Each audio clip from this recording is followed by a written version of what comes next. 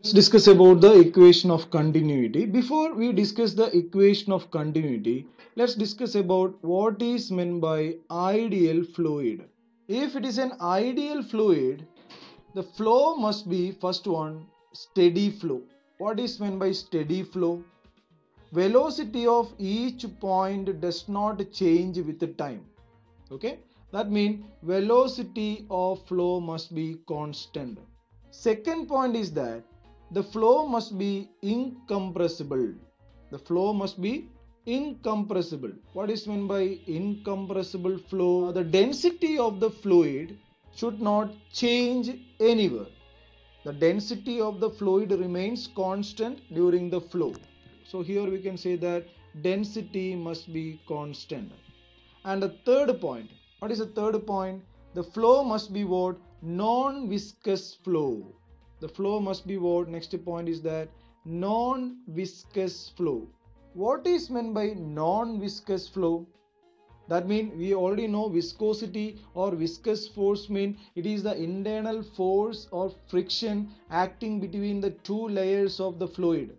So non-viscous flow mean what there should not be any internal friction. So we can note it down. The this is no internal friction acting between the layers. So no internal friction. This is the third one non-viscous flow.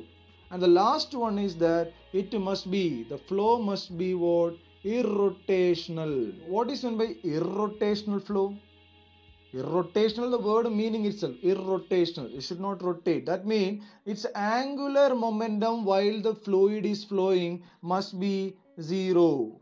Okay? That means no angular momentum when the liquid is flowing. So we can write here no angular momentum. So what is meant by ideal fluid right now it must possess steady flow incompressible flow non-viscous flow and irrotational flow this is called ideal fluid to derive this equation of continuity imagine a liquid is flowing through this pipe a fluid is flowing through this pipe. What must be the condition for the fluid here? The fluid we are considering it as an ideal fluid. Consider the two area. One is this point we are considering. Other one is this point we are considering. That means the different regions of the pipe. So let's write here area of the first section say it as this is A1 and the area of the second portion we have taken as is equal to A2 and the velocity with which the uh, fluid is flowing here say it as V1 and the velocity with which the liquid is flowing through this small area is equal to V2. Now you consider some liquid is now flowing through the pipe. We can take it as the liquid density is equal to rho. Now you consider a small time interval. We are considering a small time interval. In a small time interval delta t, some liquid is flowing through this area. Same way, the same time interval, some liquid is flowing through this small area. Okay, so time interval we are taking is same only.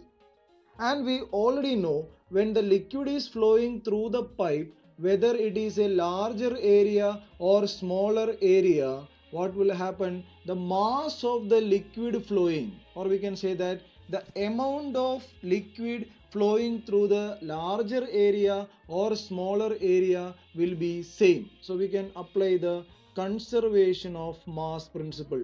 Mass of the fluid that flows through the section 1 in a time interval delta t will be equal to mass of the fluid which is flowing through the this cross section area 2 in the same time interval are equal. So let's write here what is the mass or how much amount of liquid is flowing through the first cross section area. Let me write here it as the M1 and which will be equal to the mass of the liquid which is flowing through the second cross section area say it as equal to M2. Now we already know what is a M1 and M2 mass. What is a mass formula? we can write the density into volume density remains same no? Because same liquid is flowing. So density into v1 here v stand for volume of the first area which is equal to rho into v2 v2 means the volume in the same time interval this case. So what is the v1 here? We can write here v1 is equal to area area we have taken this a1 a1 into distance it travels. What is the distance it travels? this is the distance it travels. So what we can write here say it as the uh, x1 distance travel is x1 so a1 into x1 is equal to density into. What is the volume in the second region? In the second region area into distance travel say it as the x2 so we can write here area in the second case here written the a2 so a2 into x2 now we have to substitute for x1 and x2 look at this diagram here. What is the x1 liquid is flowing with velocity in the first region with velocity v1 a time interval is taken as delta t. So what is the distance it travel? We already know the formula.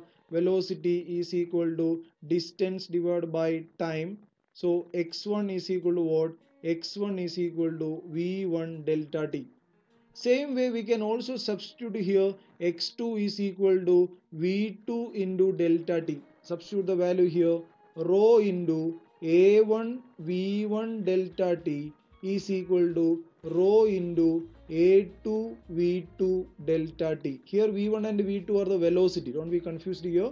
This v1 and v2 are the velocity. So now rho rho cancel delta t that is same time interval cancel so you got right now A1 V1 is equal to A2 V2 hence we proved the equation of continuity. That means we can write in general A into V is equal to constant.